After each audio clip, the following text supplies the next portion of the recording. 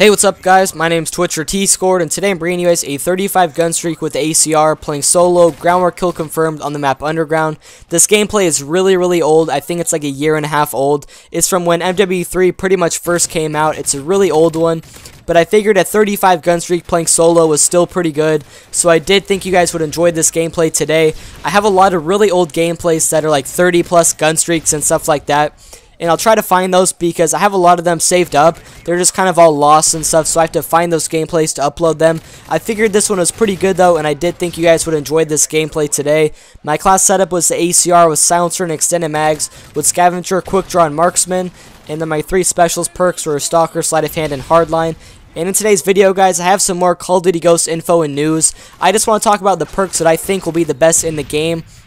I haven't actually played Call of Duty Ghosts for myself yet, and I don't know which perks are actually the best. I just have a list here of what the perks all do, and I'm just going to talk about the perks that I think will be the best, or kind of the, you know, the best perks to use in the game, all the most overpowered perks. So I have a list here, and I'm just going to kind of read through these perks. So the first one, guys, is called Deadeye, which is a 5-point perk in the Elite tier, and what it says is the higher the gun streak you're on, the more uh, probability you have of doing higher damage. So I think if you're on like a 20 gun streak, your bullets do a lot more damage. That's just kind of what it sounds like. It's kind of like stopping power from MW2 in a way, I guess. I think it'll be a really overpowered perk for all the really good players. It, uh, the people who get like 70 gun streaks and stuff, if they're on a really high gun streak, this perk sounds like uh, their bullets will just do more damage. So I think that'll be a really good perk. The second one is called Ping, which is in the Elite tier as well. After you kill an enemy, your radar is activated for all the players around him. So if you kill one enemy and he has a teammate around him, even if you guys don't have a SATCOM in the air, the other enemy pops up on your radar. That's never really been in Call of Duty before. I think that'll be a pretty good perk to use. The third one, guys, is called Danger Close, which has been in MW2 before. It pretty much is this extra explosive damage, and it's a three-point perk in the equipment tier. I think uh, Danger Close will be pretty good for the people who run uh, C4 and grenades and stuff. Danger Close just sounds like a good perk to use. It was pretty good in MW2 as well.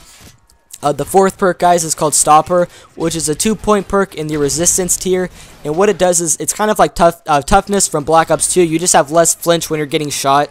And it also reduces the amount of red uh, blood on your screen. So a lot of times when you get shot, you can't see too well because of the red on your screen. And what this perk does, Stopper, is it kind of takes away the red on your screen. So that'll be pretty helpful to use. The fifth one, guys, is called Painkiller, which is, uh, it was a death streak in MW2, I think.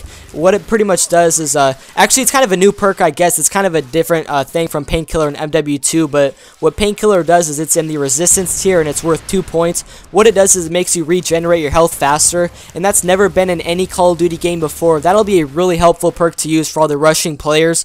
So if you, you know, lost some health and stuff in a gunfight, your health just regenerates a lot faster. That'll be a really, really awesome perk to use. The sixth one, guys, is called Wiretap, and what it does is if enemy team actually has a SATCOM in the air, it kind of taps into the SATCOM and your team actually gets to use it as well. So if the enemies have like four SATCOMs called in, you'll pretty much have an advanced UAV on your screen, which will be really awesome to use, kind of hacking into your enemy's UAVs or SATCOMs. The seventh one, guys, is called Off the Grid, and I already know for a fact this uh, perk will be overpowered. It's kind of just like Assassin from MW3, and it's kind of like Ghost from Black Ops 2. Every everyone hates the stealth perks, and I just feel like off the grid will be really overpowered. I really, really don't like the stealth perks that keep you off of the radars and stuff, so I really hope off the grid isn't too overpowered, but I feel like it probably will be. The eighth one, guys, is called On The Go, which is a two-point perk in the handling tier. And what On The Go does is it kind of allows you to reload while you're sprinting. That's never really been in Call of Duty before. Usually you have to stop and reload while you're like walking, but in this uh, perk called On The Go, you can actually reload while you're sprinting. So I think that'll be really cool and a really neat perk to use. And that's pretty much all the perks that I think will be good in Black Ops 2, guys. Or, my bad, guys. Call of Duty Ghosts, not Black Ops 2. Sorry. I hope you guys enjoyed this gameplay today, and I'll see you guys next time. Peace out.